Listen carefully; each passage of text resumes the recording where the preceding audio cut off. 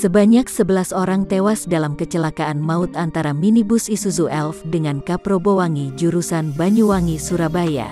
Tabrakan terjadi di jalur perlintasan kereta api di Dusun, Ranupakis, Kecamatan Kelakah, Kabupaten Lumajang, Jawa Timur pada hari Minggu, tanggal 20 November tahun 2023, sekitar pukul 19.53 waktu Indonesia Barat. Kapolres Lumajang, AKBP Boy Jackson Situmorang, mengatakan selain 11 korban tewas, terdapat empat orang yang mengalami luka berat. Seluruh korban kecelakaan tersebut merupakan penumpang minibus, sedangkan para penumpang Kaprobowangi jurusan Banyuwangi Surabaya selamat.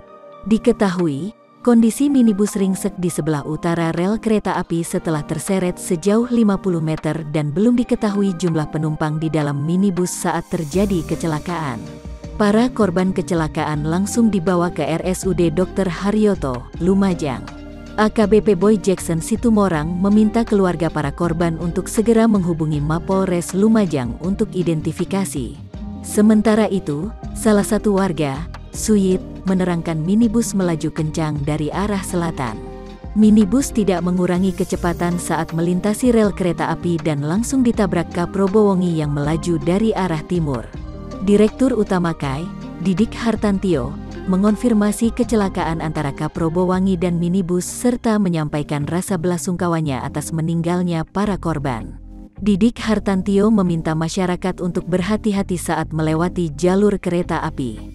Selain itu, ia juga mengimbau Pemda, Kemenhub, dan PUPR lebih memperhatikan keselamatan di perlintasan sebidang dengan memberi rambu-rambu, penerangan, hingga palang pintu.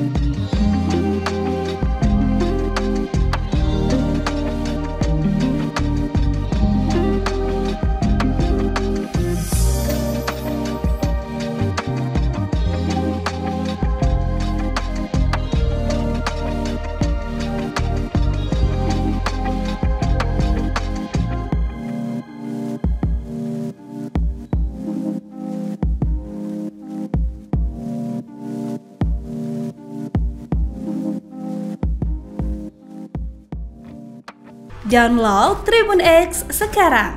Menghadirkan lokal menjadi Indonesia.